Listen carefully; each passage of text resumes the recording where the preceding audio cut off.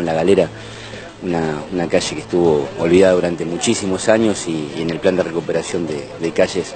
vinimos a, resolver. El Ñandú es una de las, de las últimas entradas al distrito, límite con Ituzaingó, que, que, bueno, que también vamos a estar trabajando a partir de marzo, son 600 metros lineales, en donde vamos a hacer una recuperación de todo lo que es el asfalto, bueno, un espacio público también para que los vecinos puedan disfrutar, iluminado, y, la colocación de la octava puesta policial. Es la última puesta policial del último acceso al distrito, eh, ahí en las cabañas en Ñandú, en el límite con Ituzaingó, para, bueno, para así tener el control policial en todos los accesos y egresos que tiene Borrilla.